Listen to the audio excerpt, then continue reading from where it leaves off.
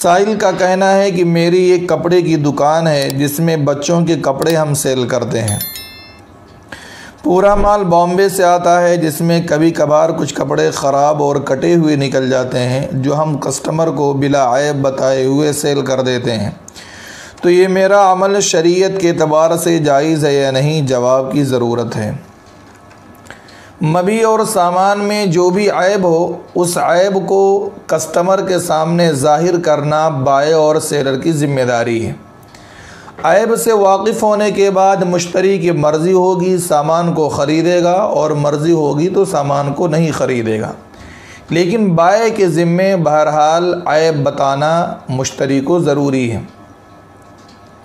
अब दरियाफ़्त करदा सूरत में आपको चाहिए कि आप मुश्तरी को कपड़े में जो ऐब है, कटा हुआ है या ख़राब है, वो मुश्तरी को बता दें।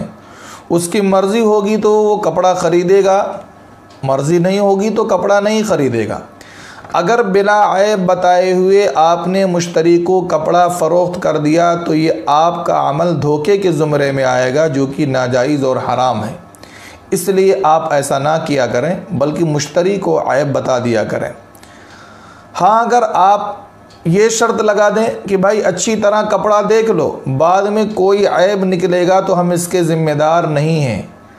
ऐसी सूरत में अगर मुश्तरी कपड़ा ख़रीद कर लेकर चला जाता है बग़ैर ऐब को जाने हुए तो ऐसी सूरत में आप पर कोई गुनाह नहीं होगा आप गुनाह से बच जाएँगे।